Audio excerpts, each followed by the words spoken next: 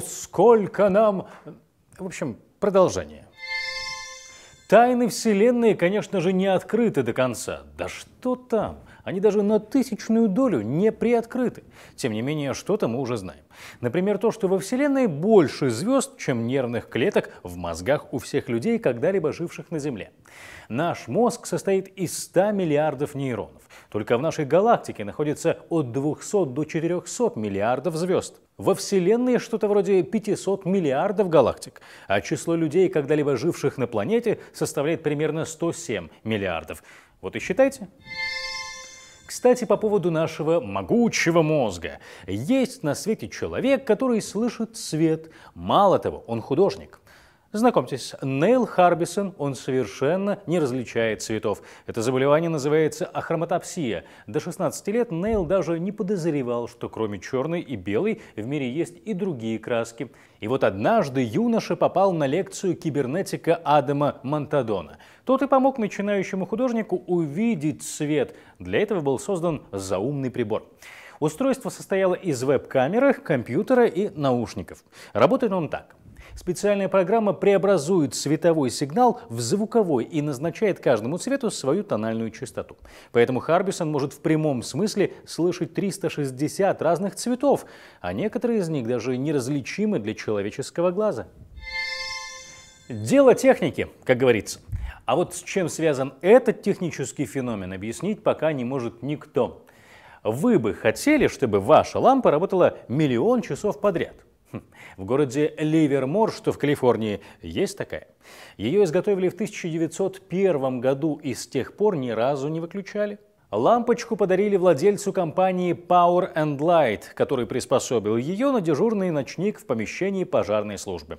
С тех пор сменилось немало работников. Помещение использовалось в различных целях, а чудо-лампа так и горит уже 110 лет. Среде местных пожарных этот предмет интерьера уже давно оброс шутками и небылицами. Однако и о деле забывать нельзя, о своей самой прямой обязанности. А вот э, совет, который мы вам сейчас дадим, носит прямо противоположный характер – огнеопасный. Для разжигания костра можно использовать, ни за что не догадаетесь, чипсы. Они чрезвычайно легко воспламеняются, да и горят довольно долго. По времени как раз хватит, чтобы загорелись даже сырые дрова.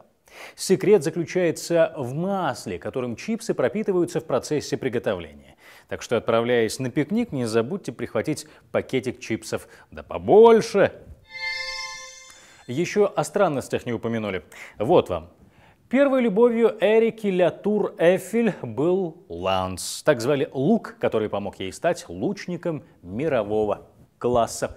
Еще у нее был роман с Берлинской стеной. Женщина уверяет, что много лет состояла в интимной связи с тем обломком стены, что хранится в ее спальне.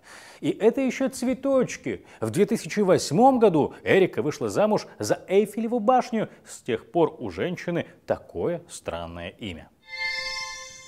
А вы знаете, что у той самой Эйфелевой башни есть множество копий. Одна из них была построена вместе со всем Парижем во время Первой мировой войны. С помощью макета планировалось расстроить планы Германии и уберечь настоящий город от уничтожения с воздуха. В поддельный город провели электричество, не забыли даже про модель Северного вокзала, главной станции столицы. К счастью, опробовать хитрый проект так и не пришлось. Война закончилась раньше, чем фальшивый город был достроен. А вот один из самых красивых пешеходных маршрутов Австрии на полгода превращается в озеро глубиной 10 метров. Зимой это место абсолютно сухое и используется для пешеходных прогулок. Но с наступлением лета снег и лед в горах тает, и парк превращается в водоем. Удивительное зрелище.